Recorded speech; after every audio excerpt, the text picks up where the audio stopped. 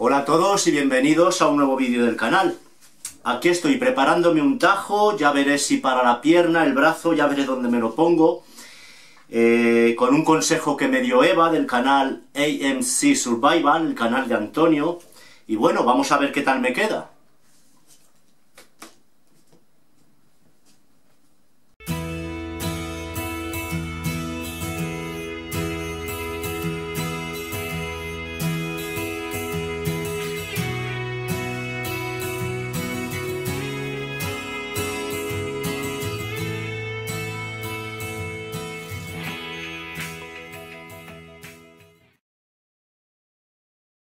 Lo anticipé en un vídeo anterior y hoy toca continuar con esa serie de primeros auxilios que estamos llevando entre Coral al Natural y yo mismo.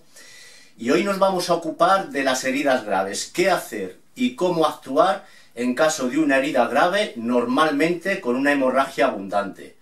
No os lo perdáis, quedaros hasta el final porque no tiene desperdicio. Me refiero a herida grave cuando se ven afectadas capas profundas de la piel, incluso tejido eh, subcutáneo, y van asociadas con hemorragia abundante. Hoy nos vamos a ocupar en aquellas heridas con hemorragia externa. Bueno, teniendo en cuenta la dinámica del protocolo PAS, una vez que nos hemos protegido todos del agente causante, avisar puede ser una cuestión de vida o muerte. El personal cualificado que esté al otro lado de la línea atendiendo nuestra llamada nos irá guiando en todo momento de qué manera proceder y así hacerlo de una manera correcta.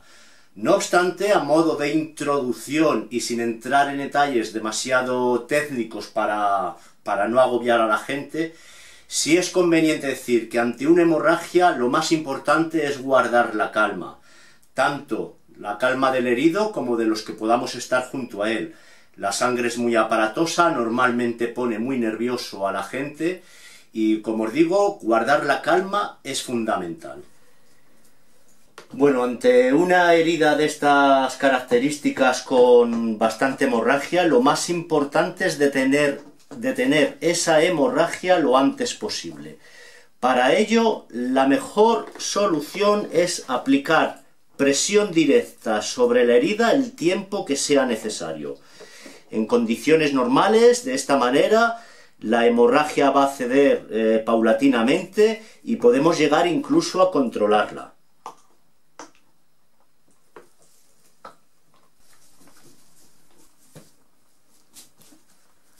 Bien, una vez que hemos controlado esa hemorragia y sin quitar, eso es muy importante que lo tengáis en cuenta, no quitéis nunca el apósito que habéis utilizado mm, en contacto con la piel y con la herida.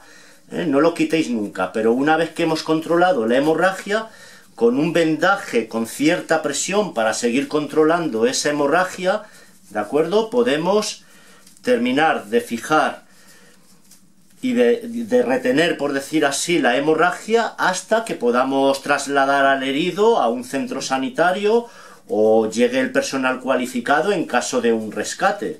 Recordad, nunca quitéis el apósito original y siempre por encima un vendaje con cierta presión, ¿eh? lo que se denomina vendaje compresivo, para poder aguantar así la herida hasta que lleguemos al centro sanitario.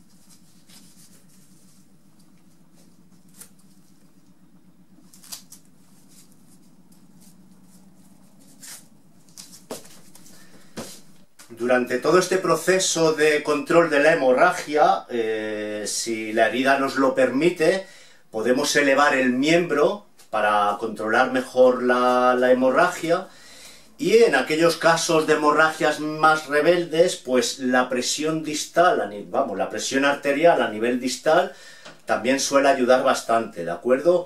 En casos muy extremos eh, se puede utilizar un torniquete, pero salvo que sepáis hacerlo eh, os rogaría que no utilicéis nunca esa técnica, porque podéis preparar una avería muchísimo mayor del beneficio que estáis intentando dar. Para aquellos casos de hemorragias más rebelde, podemos ayudarnos como elementos coadyuvantes de productos hemostáticos. En su, último vídeo, Coral mostró Celox, que es un producto diseñado fundamentalmente para uso militar, eh, un gran hemostático, pero que para mi gusto tiene un precio excesivo. Eh, como elemento, digamos, mucho más cercano y al que todo el mundo puede acceder, pues el agua oxigenada, por ejemplo, es un buen, un grandísimo hemostático. Luego también hay una serie de apósitos que, bueno, pues eh, eh, funcionan un poco, tienen como una especie de colágeno que en contacto con la herida forman una especie de costra gelatinosa que ayudan a, quitar bastante o a controlar bastante la hemorragia. Inconveniente que suele ser eh, un producto normalmente para uso quirúrgico, entonces a las personas de la calle normalmente tampoco es fácil de conseguir. Si se puede conseguir, por ejemplo, en la farmacia, productos hemostáticos, no es agua oxigenada, pero llega a ser algo similar a un precio más que razonable y que esto, dependiendo también obviamente de la seriedad de la herida, nos puede ayudar a controlar bastante la hemorragia. Recordad, productos hemostáticos ¿eh? puede ser un gran elemento para llevar en nuestro botiquín.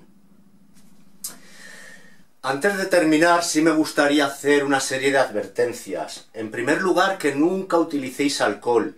El alcohol puede provocar una serie de quemaduras en la herida, que no es lo que andamos buscando. De igual manera que no utilicéis nunca en contacto con la herida algodón o cualquier otro tipo de elemento que pueda dejar fibras que no vienen a cuento ahí en la herida. De igual manera tampoco uséis betadine o cualquier otro tipo de compuesto yodado, yo creo que para las heridas abiertas precisamente no es, lo más efectivo.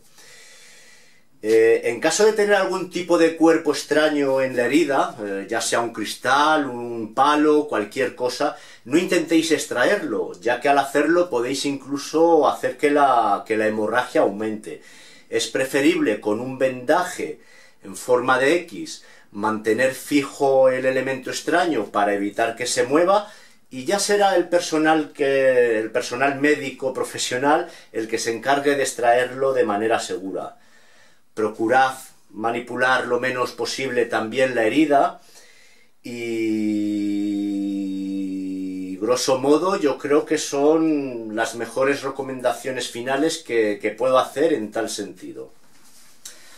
Bueno, sobra decir que en todo momento, dependiendo obviamente también de la gravedad de la herida, tendremos que mantener eh, bajo vigilancia los signos vitales del, herido y trasladarlo a un centro sanitario, a un centro hospitalario con la mayor inmediatez posible. Eh, habrá ocasiones en las que no sea posible y entonces ya serán los equipos de rescate los que procuren llegar lo antes posible y ojalá, ojalá este tipo de recomendaciones y de actuaciones no tengáis que ponerla nunca en práctica. No os vayáis que me queda una cosa por deciros. En un próximo vídeo, y quiero que sea lo más rápido posible, os voy a enseñar a hacer una sutura de circunstancias, una, sutura sin, sin utilizar ningún tipo de medio quirúrgico para aquellas zonas o aquellas heridas que así lo requieran. Como os digo, quiero hacerlo con la mayor inmediatez posible. Esa técnica yo la aprendí hace tiempo en un curso de primeros auxilios que hice y yo creo que os va a venir de maravilla que os lo muestre. Recordad, próxima entrega de primeros auxilios, intentaré, ya os digo, hacerlo lo antes posible. Sutura de circunstancias ante una herida grave en la naturaleza, en el campo. Muchísimas gracias a todos por vuestra compañía, por vuestra atención. Espero que esta serie que estamos haciendo entre Coral al Natural y yo mismo esté resultando útil.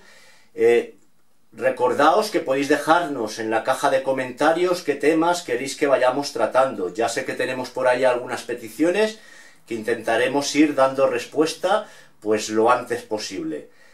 Lo dicho, muchísimas gracias a todos por vuestra atención y hasta un próximo vídeo. Adiós.